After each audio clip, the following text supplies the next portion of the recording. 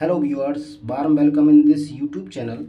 This is question from IAT 2023 IISER. A ball is thrown vertically upward with an initial speed u from a height h above the ground.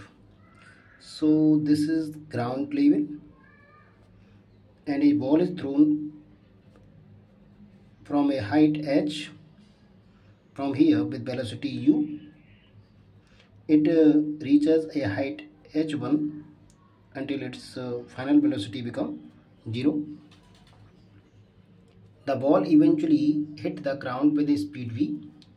After free falling this hit the ground with velocity v with covering a height h2 from that it is point a this is point b and this is point c.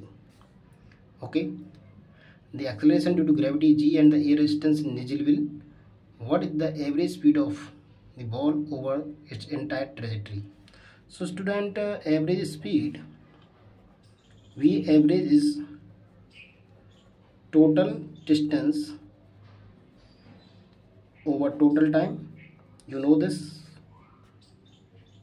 So we required this time t1 and this time t2 and this height h1 and this height h2 so for A to B, A to B motion, we have uh, V equal to U minus GT, T1, V is final 0, U is U, G T1.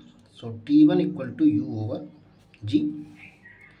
And this height that uh, V square equal to U square minus 2G H1, B is 0 u square minus 2g h1 therefore h1 equal to u square upon 2g now for the motion of uh, b to c.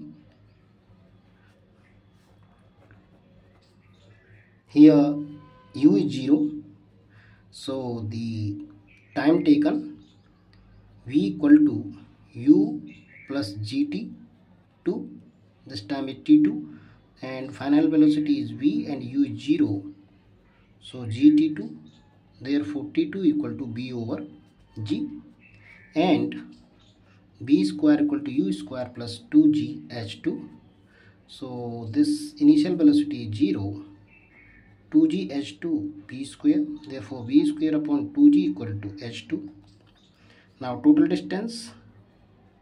Total distance covered is h1 plus h2 h1 is here u square upon 2g and h2 is v square upon 2g total time t1 plus t2 that is b upon u upon g plus b upon g. So v average equal to total distance upon total time h1 plus h2 over t1 plus t2 and this is u square upon 2g and b square upon 2g over u over g v over g. Gg cancel we got u square plus b square upon 2 times u plus v. U plus b so this is the correct answer which is found in option a. So option a is correct. I hope you got it please like the video subscribe the channel. Thanks for watching